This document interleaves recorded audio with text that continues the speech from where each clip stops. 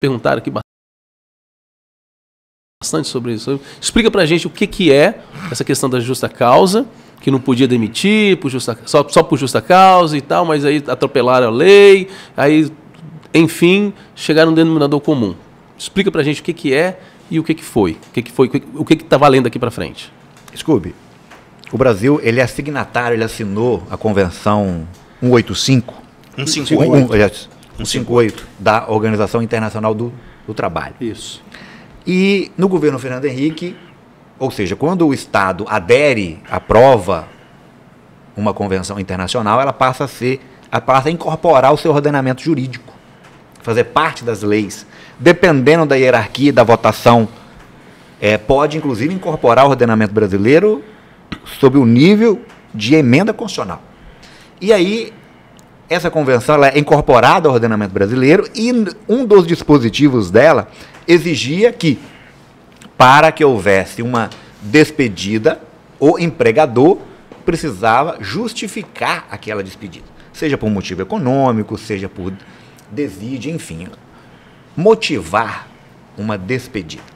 E aí, no governo Fernando Henrique, ele denuncia essa convenção, ou seja, ele declara formalmente, individualmente, enquanto presidente da República, que o Brasil não vai mais seguir aquela convenção.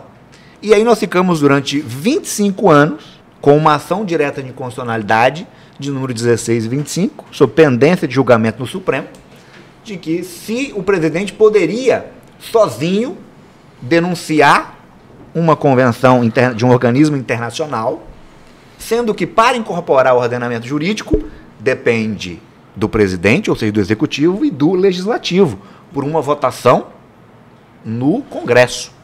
E o Supremo ficou 25 anos para julgar e terminou o julgamento na última sexta-feira em plenário virtual, numa votação apertada, em que, por um lado, ele decide, o presidente sozinho não pode denunciar, deixar de seguir uma convenção internacional.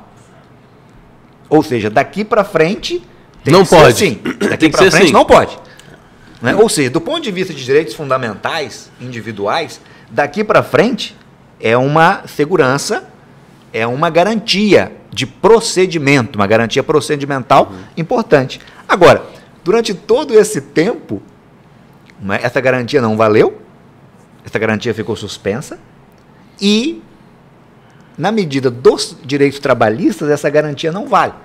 Então, o Supremo, mais uma vez, referenda uma medida favorável aos empregadores e desfavorável claramente à classe trabalhadora. Então, tipo assim, é, tá valendo, mas não valeu. Exatamente. Exatamente. É, ó, daqui para frente tá valendo, mas isso aí não valeu não. Então, então, se eu entendi.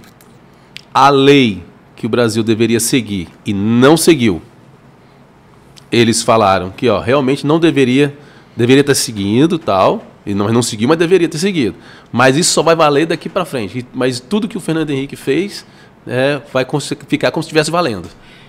É meio contraditório. Meio não, é o que sim. chama de modulação de efeitos. Isso. Você declara aquele ato inválido, inconstitucional, uhum. mas só produz os seus efeitos é, futuros. É o que a gente chama de é, efeitos ex nunc, né? Ou seja, só para frente. Só, só vale frente. daqui para frente a partir da, da, publicação da decisão e não tem efeitos retroativos. Okay. O problema, o Scooby, ele está na ausência de uma regulamentação, e o Rony puxa isso muito bem, de, do artigo 7 salvo engano, inciso 1 da Constituição, que não foi regulamentado até hoje, justamente essa dispensa sem justa causa. Que o Benhur muito bem coloca, faz esse histórico das estabilidades. Uhum. E o que a gente vive hoje na prática é uma relativização de estabilidades. É uma, é uma flexibilização, uma desregulamentação, para que cada vez mais os trabalhadores possam trabalhar sem garantias de emprego. Uhum. Acabando com a estabilidade decenal, relativizando, por exemplo, estabilidades de, de muitas normas de saúde e segurança do trabalho que aconteceu recentemente, atingindo diretamente os cipeiros. E agora, o próprio FGTS, como o Benhur muito bem lembrou, uhum. sofre uma relativização na reforma trabalhista, quando permite a rescisão por mútuo acordo. Não, caiu hoje. Que em que É, é, se aí renuncia também. 20% da Isso aí. multa Isso aí. rescisória. Sim. Eu acho e não alguma se coisa. recebe o, O seguro-desemprego. Você tinha aposentadoria 25 anos, 20 anos e 15 anos. Isso. Então você estava exposto a esses, essas intempéries, esses, esses agentes nocivos, no caso de, de- de enfermeiros, risco biológico. Aí veio a reforma da Previdência. Então o cara que faltava ali um ano para aposentar, veio a reforma da- Previdência, passou a vigorar dia 13 de novembro de 2019. Isso foi, pulou para 10 anos, pulou para 15 anos, que o fator lá para a soma da sua idade, mais o seu período exposto de agente salubre, tem que dar uma soma de 86 pontos, enfim, prejudicou bastante. Mas para quem assinou a carteira depois disso, estabeleceu uma idade li- limite. Mesmo você cumprindo os 25 anos, você tem que completar 60 anos. Você vai ver trabalhador de recolhe- eh, recolhedor de lixo urbano até os 60 anos correndo atrás de um caminhão de lixo. Não sei se você está em casa, você consegue ver essa situação. Um cara com 60 anos correndo atrás do caminhão de lixo. É o que a reforma da Previdência trouxe. E para piorar, tem essa lei aqui que já foi votada no Senado E e, agora. Vai para A Câmara. a Câmara. Que ela tira da aposentadoria especial a área periculosa. Que são cinco trabalhadores que têm direito à área periculosa. Abastecimento, quem trabalha com, com Líquido inflamável. Líquido inflamável. explosivo, explosivo, Energia elétrica. energia elétrica, é, segurança risco- patrimonial Risco de segurança patrimonial. e, motoboy. Hã? Motoboy. É, não, não. Aí você tem a radiação também. É, é, Ionizante? é a radiação. Na radiação é insalubre. É insalubre, não, não? não, não, não, é, é energia. Quem trabalha com energia atômica tem, tem, um, tem uma, uma regrinha dessa. Especial. É. também. Então são seis elementos, são seis características. verdade, É, é, agora são. Entre, entre, é. esses seis.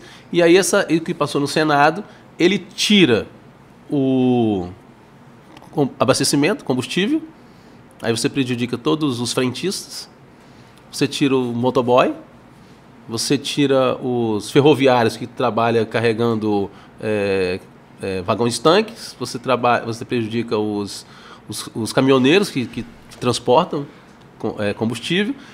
E se passar da forma como que está na Câmara de Deputados, essas pessoas deixam ainda de ser 60 anos e passam para 65 anos. Cube, mais, uma, mais um projeto de lei com restrições a direitos constitucionais, humanos, fundamentais e sociais. A reforma da Previdência vem nessa seara, Uhum. não é? e agora, quando a reforma da Previdência atinge, atinge de forma geral. Não é? Aqui, esse- essa proposta legislativa atinge especificamente a aposentadoria especial. Especial. É? E aí nós estamos falando basicamente daquelas áreas perigosas e insalubres, que são aqueles trabalhadores que têm contato direto com agentes químicos, físicos e biológicos, que naturalmente há um- uma deteriorização da saúde de forma mais progressiva do que, via de regra, em outras áreas. Então, há necessariamente uma limitação de direitos fundamentais a pretexto não é de se salvar aí sobre o argumento, né? De se salvar a previdência que para alguns é deficitária. Então, é uma reforma naturalmente que atinge essas categorias que você enumera e naturalmente causa mais prejuízos a direitos sociais. É, isso passou assim na, na, na- Na surdina. Na surdina. Sem, sem maiores Na surdina. debates, sem maiores reflexões. Porque eu não, não, não vejo obje, é, obje- não tem objetivi- objetividade nenhuma nessa lei a partir do momento que ela pega esses trabalhadores e joga eles para a área para 65 anos, eles poderiam estar saindo com 60, que já é um erro, né? Que o Supremo até votou isso, não foi, o, o, Rony? Que eles estavam querendo é, é, a inconstitucionalidade disso, tirar a idade mínima, estava sendo votado no Supremo Tribunal Federal, justamente a constitucionalidade da idade mi- limite de 60 anos para a área insalubre periculosa. Mas aí eu não sei se já votou, que eles queriam tirar, né? E aí o Supremo não. Se foi uma emenda, se foi uma mudança na Constituição, que foi a reforma da Previdência, então está valendo.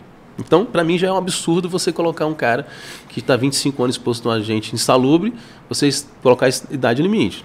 Certo, você trabalhou 25 anos, está exposto, você tem que aposentar e ponto, acabou. E aí jogar ainda essas categorias para 60 para 65.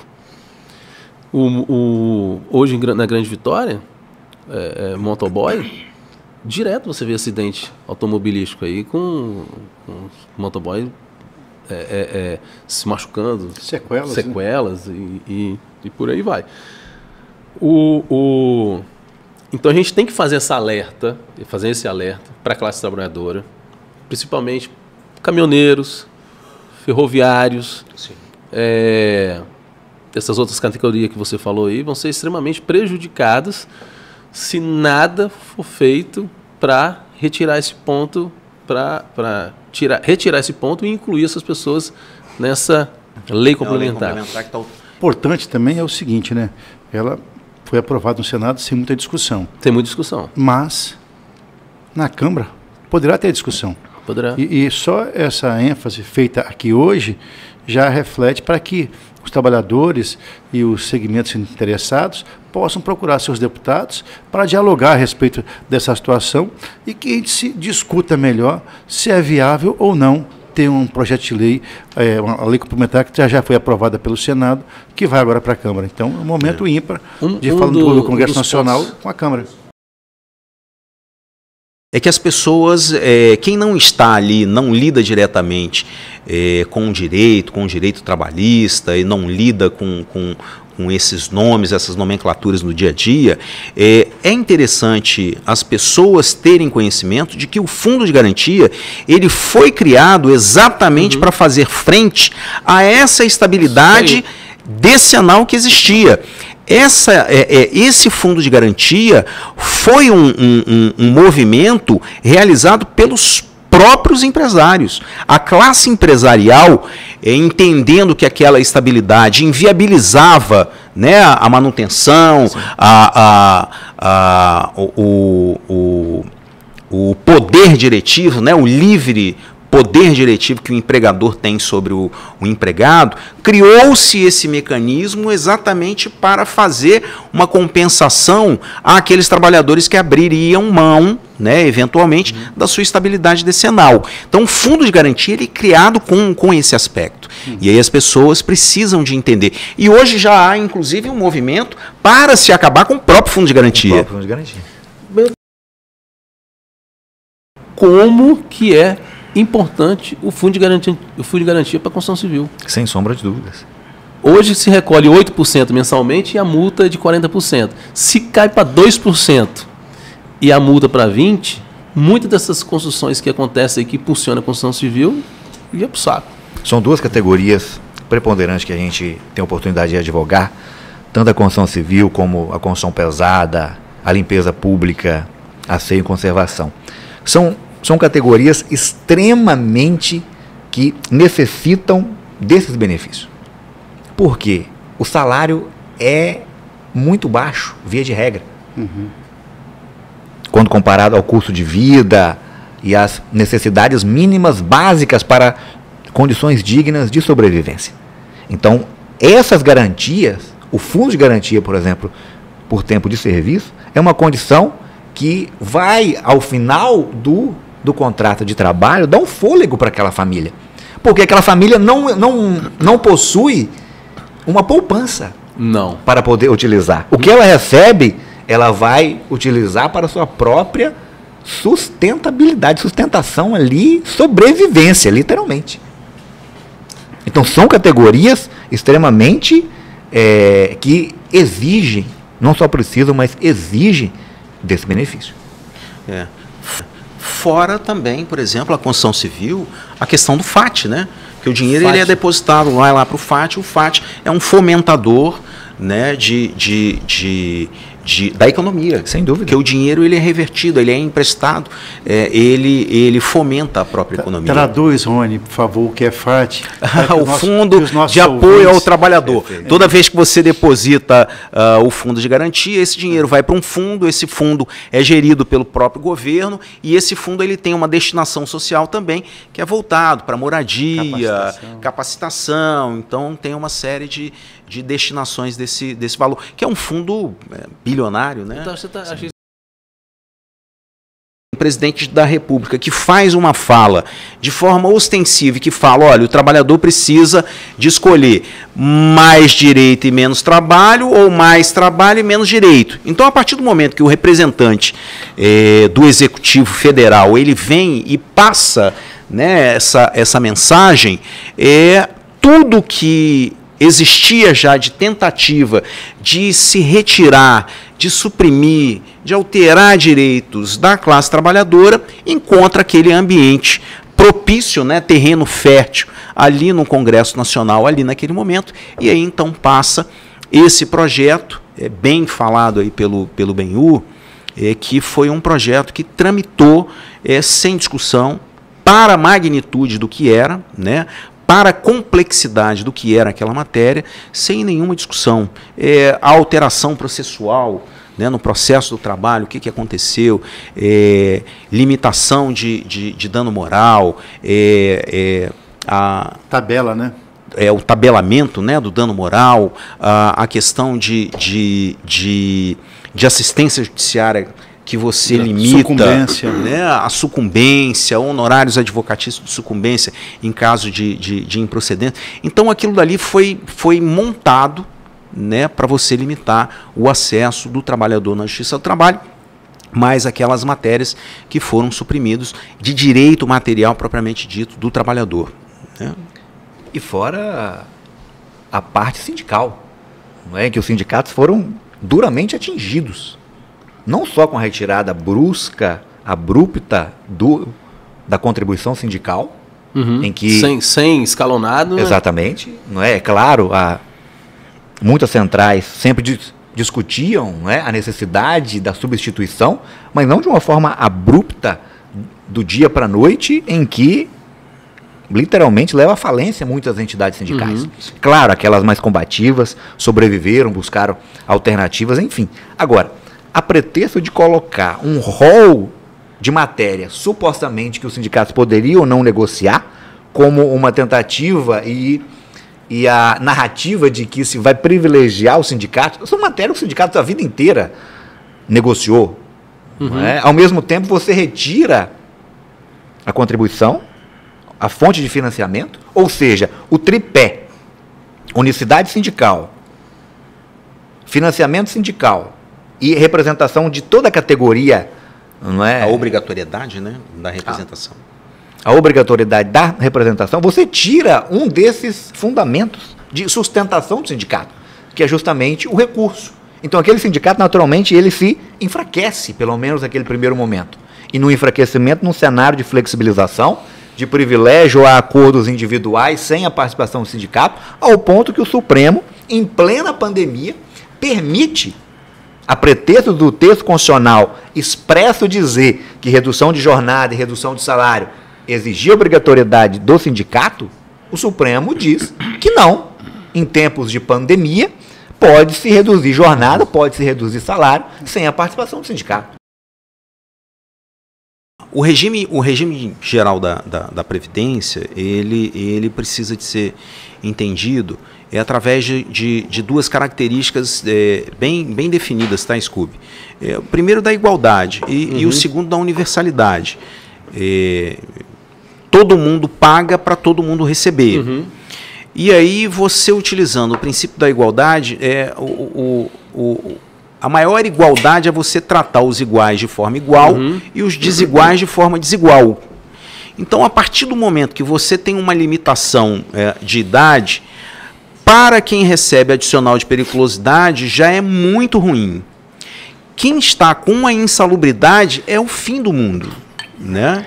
Porque ah, aquele trabalhador que está lá na mina uh, da Vale fazendo escavação, retirando aquele minério, ele não pode ser tratado da mesma forma daquele trabalhador que está ali num, num caixa de comércio, a secretária de um escritório de advocacia. É, entendeu? Uh, são pessoas totalmente diferentes. Então, a, a, a, aposentadoria especial, ela é constituída com o, o, o a intenção de você tratar estes desiguais de forma desigual. Você tem um, uma, uma expectativa de vida para que o trabalhador médio chegue até X anos. Hoje está em 74, 75 uhum. anos. Então você não pode tratar este trabalhador lá da mina de carvão, da mina de cobre, da mina de ferro, igual você trata a secretária do escritório de advocacia que está sentada no ar-condicionado, né, que tem uma condição de trabalho, uma qualidade no ambiente de trabalho é, muito menos insalubre do que aquele Agressiva, trabalhador. Né? né? Então essa secretária ela vai ter a sua expectativa de vida atingida. Esse trabalhador da mina talvez não chegue aos 60 anos. Então, esta categoria de trabalhadores vão pagar eternamente e nunca vão se aposentar se tiver aquele limite de idade é, igual aos trabalhadores normais. Então, a aposentadoria especial ela é, é criada, ela é pensada exatamente para fazer frente a essas particularidades.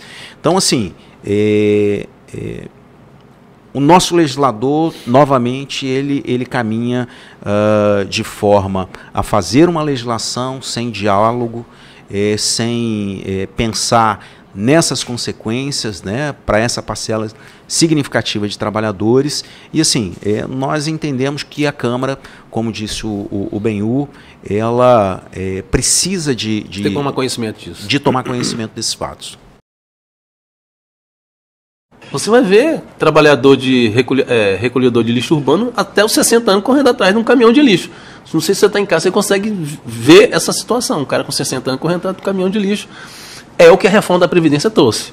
E para piorar, tem essa lei aqui que já foi votado no Senado e, e agora vai para a Câmara. A Câmara. Essa, o que passou no Senado, ele tira o abastecimento, combustível, Aí você prejudica todos os frentistas, você tira o motoboy, você tira os ferroviários que trabalham carregando é, é, vagões tanques, você, trabalha, você prejudica os, os, os caminhoneiros que, que transportam é, combustível.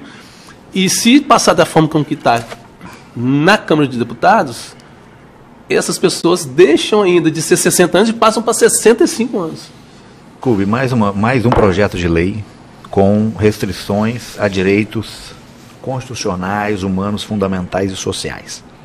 A reforma da Previdência vem nessa seara, uhum. não é? e agora, quando a reforma da Previdência atinge, atinge de forma geral.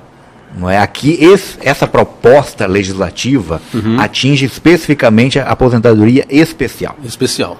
É? E aí nós estamos falando basicamente daquelas áreas perigosas e insalubres, uhum. que são aqueles trabalhadores que têm contato direto com agentes químicos, físicos e biológicos, que naturalmente há um, uma deteriorização da saúde de forma mais progressiva do que via de regra em outras áreas.